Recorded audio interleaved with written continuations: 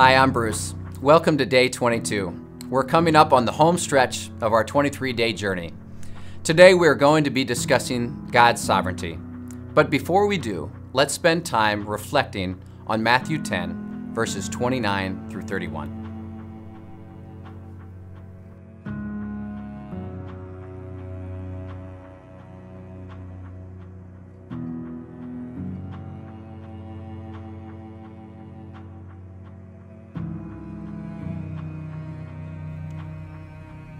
Many theologians would argue that no doctrine is more despised by our mind than the truth that God is sovereign. Our human pride loathes the suggestion that God orders everything, controls everything, and rules over everything, even the number of hairs on our head.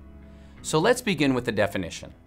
The definition I'm working with states the sovereignty of God is the same as the lordship of God for God is the sovereign over all of creation.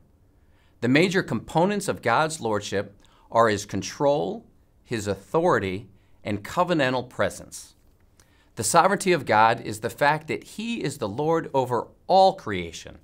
He is ultimately exercising his rule. This rule is exercised through God's authority as king, his control over all things, and his presence with his covenantal people and throughout his creation.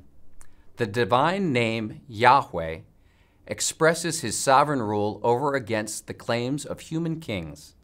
Because God is personal, his sovereign control is not impersonal or mechanical, but it is loving and gracious oversight of the King of creation and our Abba Father.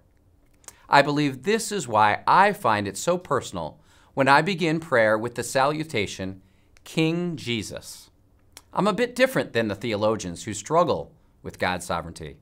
I find it wildly comforting, and I, and I rest in the assurance that He is God and I am not.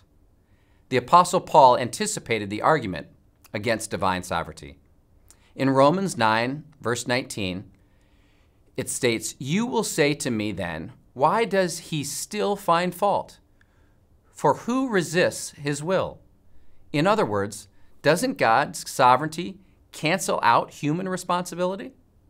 But rather than offering a philosophical answer, Paul simply re- reprimanded the skeptic, saying, On the contrary, who are you, a man, who answers back to God?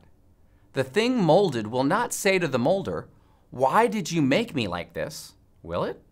Or does not the potter have a right over the clay to make from that same lump one vessel for honorable use and another for common use.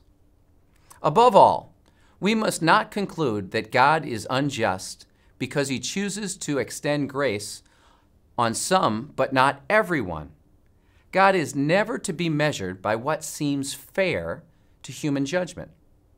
Are we so foolish as to believe that we who are fallen and sinful have a higher standard of what is right than an unfallen and infinitely, eternally holy God.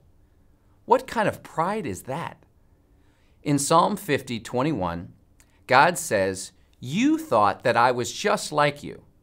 But God is not like us, nor can he be held to human standards. My thoughts are not your thoughts, neither are your ways my ways, declares the Lord. For as the heavens are higher than the earth, so are my ways higher than your ways, and my thoughts than your thoughts. That's Isaiah 55.